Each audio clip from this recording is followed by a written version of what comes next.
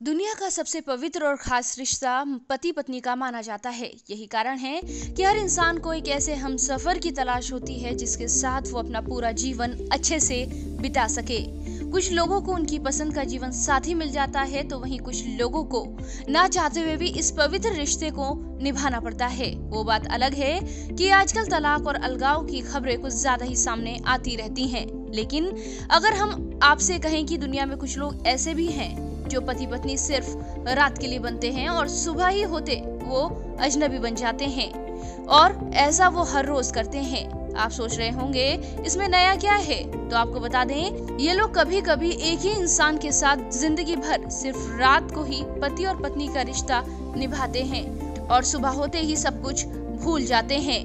ये सब कुछ कहीं और नहीं, बल्कि पूरी दुनिया को कोरोना वायरस देने वाले चीन में होता है। चीन के यूनान प्रांत में ऐसी ही एक अजीबो गरीब शादी का चलन है। ये सब कुछ मूसो जनजाति के लोग करते हैं, जो कि लुगु लेक, शिनशुई नदी के पायलोंग नदी के किनारे पर रहते हैं। यहाँ लड़की जब चाहे, वो अपने किसी भी मनपसंद लड़के से शादी कर सकती है। लेकिन इस शादी में लड़का लड़की दोनों अपने अपने घर रहते हैं और रात को ही एक दूसरे से मिलते हैं। शादी के बाद लड़का हर रात लड़की के घर जाता है और फिर सुबह होते ही अपने घर वापस लौट आता है। कहा जाता है कि इनका रिश्ता विश्वास पर चलता है, दोनों के बीच शारीरिक संबंध के अलावा कोई दूसरा रिश्ता नहीं होता है।